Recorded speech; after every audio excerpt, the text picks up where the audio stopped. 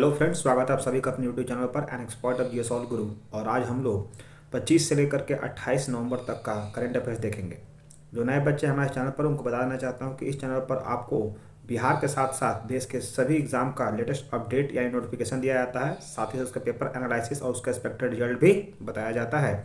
इसके साथ ही साथ इस चैनल पर आपको बिहार दरोगा तथा Bihar S S inter level के लिए बिल्कुल फ्री यूट्यूब बैच उन बच्चों को लाया गया है, जो बच्चे बिहार दरोगा तथा बिहार एसएससी का पेड बैच अफोर्ड नहीं कर सकते हैं। ठीक है? तो आप हमारे चैनल को सब्सक्राइब करके उस प्लेलिस्ट को देख करके अपनी सफलता को सुनिश्चित कीजिए, ताकि जो आपका सपना है वो साकार हो सके। ठीक है दोस्तों, चलिए शुरू करते हैं आज के करंट अफेयर्स यानी पच्चीस नवंबर का पहला क्वेश्चन ये रहा आपके सामने। इसमें 25 और 26 दोनों का, यानी इस स्लाइड में 25 और 26 नवंबर का मैंने एक साथ ही रख दिया, जो जो इंपॉर्टेंट थे। और ये करंट अफेयर्स जो है वो आपको बिहार के सभी एग्ज़ाम के साथ साथ देश के जितने भी एग्ज़ाम होते हैं, जैसे एसएससी हुआ रेलवे हुआ बैंक हुआ, ये आपको सब में देखने को मिलेंगे।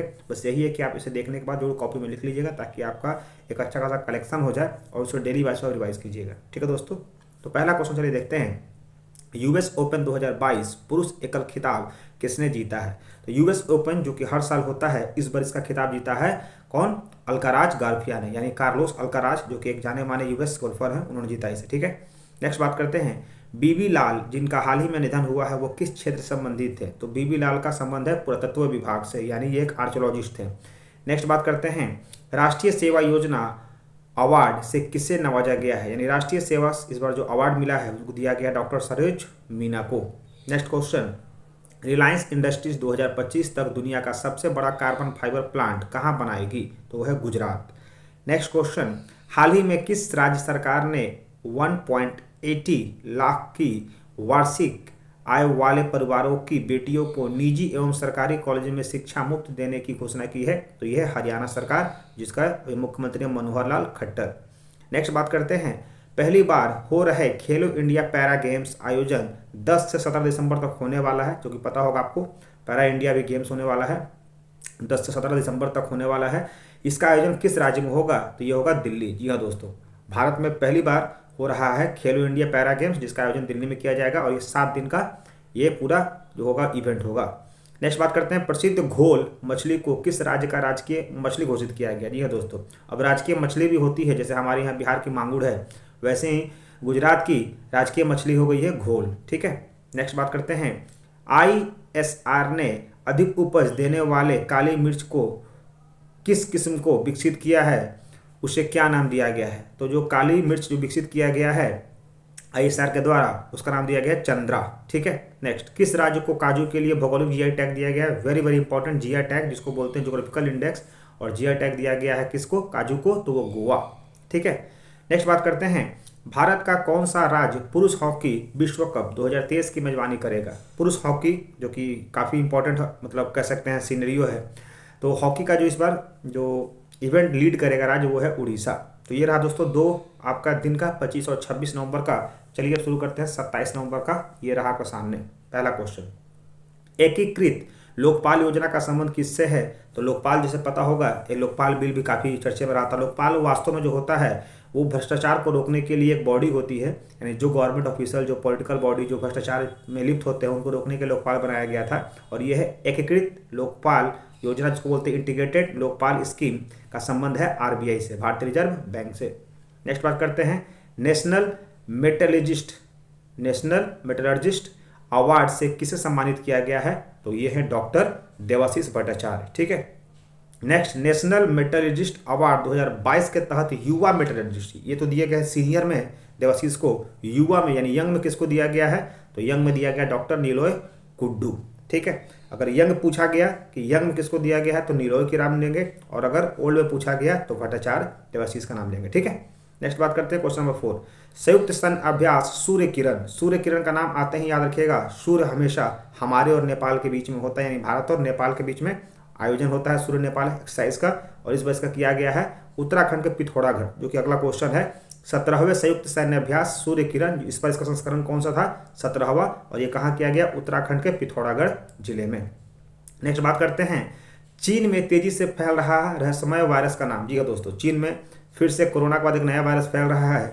इस वायरस का नाम जो आपको एग्ज़ाम पूछने को मिलेगा, चूँकि कहीं ना कहीं चीन ही पूरे इंडिया की इकोनॉमी या पूरे वर्ल्ड की इकोनॉमी को बर्बाद करने में इसका बहुत बड़ा योगदान रहा है। तो फिर से एक नया वायरस चीन में फैल रहा है, जिसका नाम दिया गया है H nine N two H nine N two जिसको बोलते हैं avian influenza virus avian influenza virus next question number हाल ही में डेनियल नोबोवा ने किस देश के राष्ट्रपति के रूप में शपथ ली है? याद रखिएगा अपॉइंटमेंट और ओथ जो है वो आपके एग्ज़ाम में काफ़ी इंपॉर्टेंट हो जाता है। तो डेनियल का नाम आते ही आपको याद होना चाहिए इक्वाडोर, ठीक है? इक्वाडोर की राजधानी क्या होती है? आप लोग कमेंट में ज़रूर बताइएगा। नेक्स्ट, भारतीय टीम ने एशियाई पैरा तीरंदाजी चैंपियनशिप में कुल कितने स्वर्ण पदक जीते हैं? तो आपके तीरंदाजी में जीता गया है चार स्वर्ण पदक के साथ कुल नौ पदक, ठीक है? जिसमें चार गोल्ड मेडल हैं। नेक्स्ट बात करते हैं, संविधान दिवस हर साल किस दिन मनाया जाता है? तो पता ही होगा, कॉन्स्टिट्यूशन डे, जो कि आप लोग पढ़े होंगे पॉलिटी तो 26 नवंबर को मनाया जाता है कॉन्स्टिट्यूशन डे। नेक्स्ट हाल ही में उत्तर प्रदेश राज्य सरकार ने 25 नवंबर 2023 को प्रदेश में क्या घोषित किया है?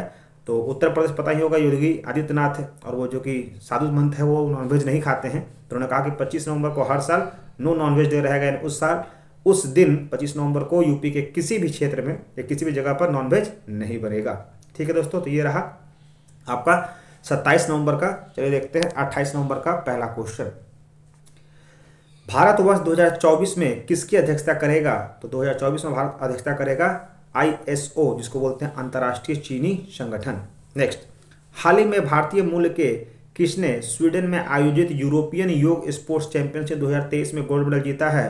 तो भारत के रहने वाले, जिनका नाम है ईश्वर शर्मा ने यूरोप में आयोजित होने वाले स्वीडन में आयोजित होने वाला यूरोपीय योग में गोल्ड मेडल जीता है। नेक्स्ट हाल ही में किस राज्य सरकार ने मिशन दक्ष लॉन्च किया है? तो मिशन दक्ष, यानी दक्षता, और दक्षता हमारे बिहार में देखने को मिलती है। नेक्स्ट हाल ही में किसको भारतीय ग्रीन बिल्डिंग काउंसिल, जिसको बोलते हैं आईजीबीसी द्वारा प्लेटिनम की उच्चतम रेटिंग के साथ ग्रीन रेलवे स्टेशन सर्टिफिकेट से सम्मानित किया गया है। तो ये इंपॉर्टेंट क्वेश्चन है। ग्रीन रेलवे सर्टिफिकेट यानी वहाँ पर हर जगह आपको ग्रीनरी देखने को मिलेगी, ऐसा कुछ नहीं है। ग्रीन रेलवे स्टेशन का मतलब होता है कि वहाँ पर जो भी मटेरियल लगाए गए हैं रेलवे के द्वारा या जो भी चीज़ें वहाँ पर मैनेज की जाती हैं, वो काफ़ी कह सकते हैं वेल डिफाइंड होती हैं और वेल पब्लिकली होती है। सभी लोग उसका आसानी से और मजबूती से उसका इस्तेमाल किया जा सकता है। तो वह है Vijayawada railway station. Next T twenty format में सबसे ज़्यादा रन 220 रन बनाने वाले टीम बन गई है। याद रखिएगा 220 रन बनाने वाली है। भारतीय टीम ने टी ट्वेंटी में नौवीं बार 220 रन बनाया है। यानी टी ट्वेंटी में भारत ने नौवीं बार 220 रन का टारगेट बनाया है और इस तरह से ये पहली बन चुकी है भारतीय टीम पूरे देश में। नेक्स्ट हाल ही में किस देश की कंपनी ने दुनिया की पहली इलेक्ट्रिकल एयर टैक्सी, यानी इलेक्ट्रिकल एयर टैक्सी, हवा में वो टैक्सी उड़ेगी की तैयारी की है? वह अमेरिका की कंपनी जिसका नाम है जॉबी एविएशन। यानी आपको टैक्सी के रूप में वो रहेगी, लेकिन वो ज़मीन पर नहीं उड़ेगी, जिसको बोलते हैं electrical air taxi. Next, under 19 Asia cup के लिए भारतीय टीम के कप्तान कौन होंगे? तो अंडर 19 का इस बार दिया गया है कप्तानी सिप, जिसको बोलते हैं उदय सहारन। उदय सहारन। नेक्स्ट हाल ही में केंद्र सरकार ने राज्यों में आयुष्मान भारत, स्वास्थ्य और कल्याण केंद्रों के नाम से बदलकर क्या रखने का फैसला किया है? तो इस बार इसका नाम बदल गया है और आयुष्मान का नाम बदलकर आयुष्मान आरोग्य मंदिर। किसका नाम बदला? चलिए फिर से देख लेते हैं। आयुष्मान भारत, स्वास्थ्य और कल्याण केंद्रों का नाम बदलकर, यानी आयुष्मान भारत का नाम बदलकर हो गया है आयुष्मान आरोग्य मंदिर। और आज का ये लास्ट क्वेश्चन किस व्यक्ति ने यूरोपीय योग खेल चैंपियनशिप 2023 में स्वर्ण पदक जीता है? जो यूरोपियन योग जो देखे थे, आप लोग हम देखे थे, जो स्वीडन में हो रहा था, उसमें जीते हैं ईश्वर शर्मा। आप लोग देख रहे हैं क्वेश्चन नंबर थर्ड जो यूरोपियन योग हो रहा है, जो कि स्वीडन में, उसमें भारत के ईश्वर शर्मा ने गोल्ड मेडल जीता है। ठीक है दोस्तों तो ये रहा आपके चार दिन का पच्चीस, छब्बीस, सत्ताईस और अट्ठाईस का करंट अफेयर्स आई होप आपको करंट अफेयर अच्छा लगा होगा। अगर अच्छा लगा हो तो चैनल को सब्सक्राइब करके बेल आइकन ज़रूर हिट कर लीजिएगा। साथ ही साथ जो भी आप एग्ज़ाम की तैयारी करते हैं, वो हमारे चैनल से जुड़ जाए, ताकि आपको सारा अपडेट एग्ज़ाम के फॉर्म्स भरने से लेकर के, उसके तैयारी से लेकर के आपकी सफलता तक ये चैनल आपको हेल्प करेगा। साथ ही साथ हमारे पीडीएफ के लिए आप हमारे Telegram channel at the rate G S all guru से जुड़ गए अपनी सफलता को सुनिश्चित करें। ठीक है दोस्तों बाबा टेक करना है डेट्स थैंक यू